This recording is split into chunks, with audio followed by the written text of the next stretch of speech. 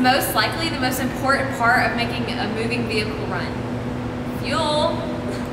Without fuel, we wouldn't be able to go anywhere. Every vehicle is very different, requiring different types of fuel.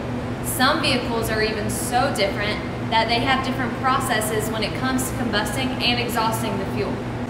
The space shuttle and the jet dragsters that we have are very, very different in terms of fuel tanks. Yes, they're doing the same job, but they're doing it in completely different ways. The space shuttle external tank, so this really big orange tank that we have right here actually carried all of the liquid oxygen and the liquid hydrogen.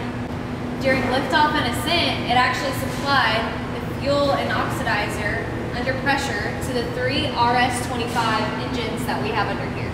The solid rocket boosters, so these really big white boosters right here, were actually used as the primary propulsion for the space shuttle missions, and they provided the majority of the thrust within the first two minutes of the flight. After they burn out completely, they actually separate from the space shuttle and parachute back down to Earth and fall into the Atlantic Ocean. They are then recovered, inspected, refurbished, and then completely reused. Unlike the solid rocket boosters, the main external tank actually separates from the space shuttle later on and then breaks up in the atmosphere and then lands in the Pacific Ocean. Fun fact time! So have you ever noticed that the stripes on the solid rocket boosters are different?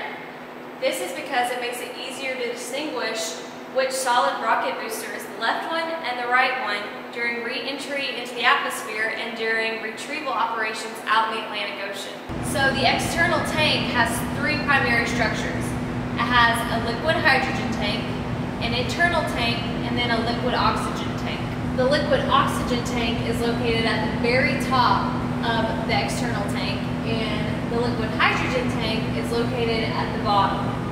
Between both of these tanks is the intertank. It is the structural connection that receives and distributes all of the thrust loads from the solid rocket boosters and then distributes those loads between the tanks. Work together to feed liquid oxygen and liquid hydrogen into the space shuttle main engines to combust, producing thrust. The fuel tanks for our jet dragsters are a lot different when comparing to the space shuttle fuel tanks. These tanks are round because they're pressurized to about 15 psi, and the front of the tanks are bullet shaped for aerodynamics. These jet dragsters run on standard grade Jet A fuel. The fuel is run through an inch and a quarter fuel line at the back of the tank that is connected to the jet engine. It is then transferred to the afterburner and then the main engine fuel pump. The external tank and the jet dragster fuel tank actually do have a comparison though. So if you look right here, there is an internal baffle that prevents sloshing. These fuel tanks may be very different, but they're performing the exact same job of transferring fuel to an engine.